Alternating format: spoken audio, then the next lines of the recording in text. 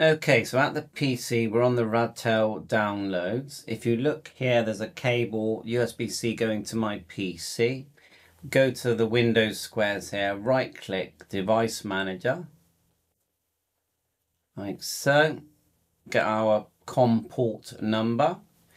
So look here on the left, scroll down until you see the word ports. Just ports here, double click. Scroll down, look, COM3. So we know our COM number. So we can now go to the Radtel site, you can see here. You do need to look up your serial number. There's two to use. And with my newer Radtel one, it's the bottom ones here. But the version looks the same, 1.13, although it shows up as 1.14. So I have already loaded it. We're going to do it anyway. So click here, upgrading firmware. And it will go to this zip here. Click the zip. And then you've got all your documents of the updates, but I just want to show you how to upgrade it quickly. So double click upgrade and then go more info when it does this. And you, it straight away gives you the upgrade sort of uh, program. So we need to select our COM3 and the firmware sort of built into this program. So what you now do is turn off the radio, hold down the PTT, and uh, turn it on and the screen should go black or on the older models it goes white. So we'll turn it off. We're going to hold down PTT and turn on. And we now know we're in firmware mode. if we're not, it won't load it. So now we can just go update. There you are. It's about 10 second pause and the green line fills. It's now going to update the firmware and I've done this so many times. It works well. So once we've done that, we're now going to go back to the Radtel site and get the programming software and read our radio.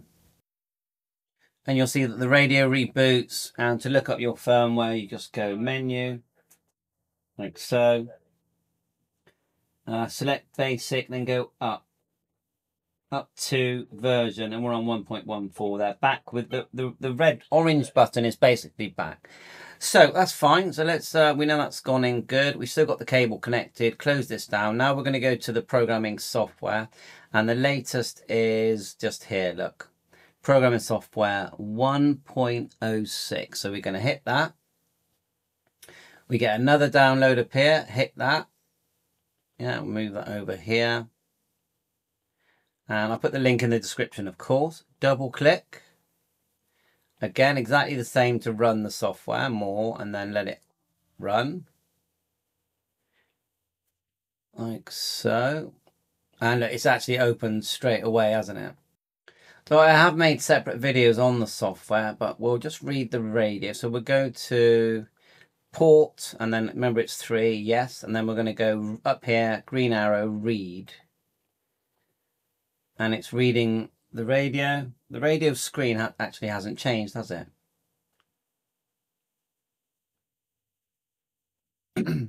Let that read live.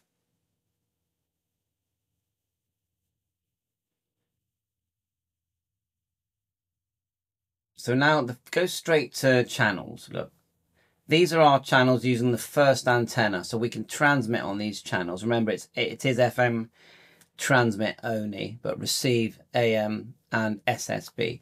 And to put in a channel, look, for example, here we've got GB3 WR there that we put in, 145 600, and then you want the transmit CTCSS, which says none, so we can put that in, drop it down. Oops, 94.8. Uh, I'll do that to high power. And it is nearly 10 watts. Wide or wide or narrow band. And then look there's your name there. And just make sure it does say RT here. If it doesn't say RT it won't transmit. And you to do that you just click here where it says reset or RTTX that's it really.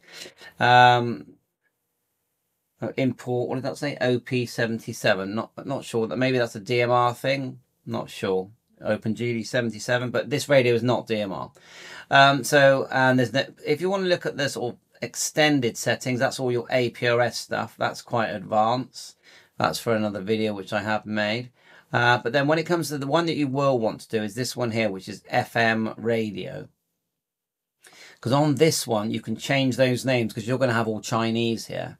So you can choose the bandwidth. So here we're up 2 to 30 megs. You have to choose that first because you might want to put something in a medium wave. And if you do, you have to choose the medium wave band range selection. And the mode is here and uh, choose it. And this is crucially, this is where your name is. It doesn't know that you've put in 40 meters. All it knows is the frequency that you've typed. So if we go here, oh, that's your, sorry, that's your fine tune. I'm selecting the wrong one. Here's the frequency here, 7.165. 80 meters, 20 meters, CB, broadcast, and then 10 meters. I've renamed these. All it knows really is that you what frequencies, range, and frequencies you've told it to use and step and all this. This bit is just for you to recognize what you've done. So that's how you're going to get rid of those Chinese names when you press the bottom button on receive. Otherwise, you've got your zones. And so you can rename these zones.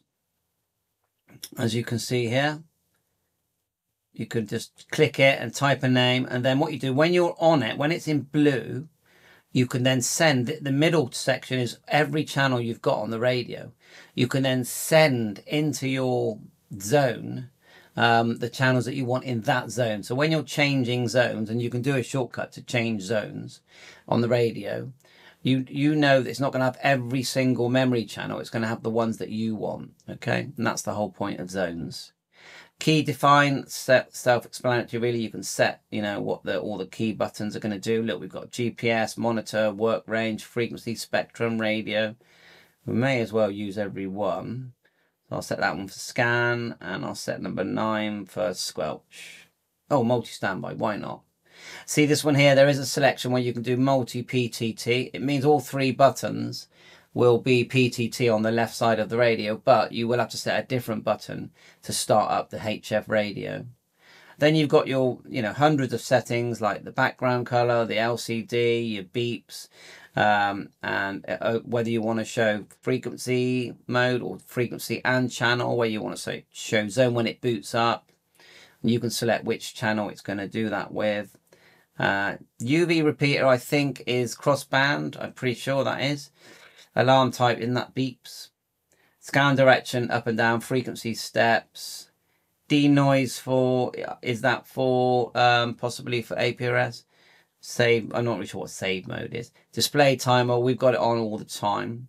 And when you've set everything you want to set, and there are a lot of settings here, just study them and learn from them. There's all this fine tuning here. See here in conf config 2.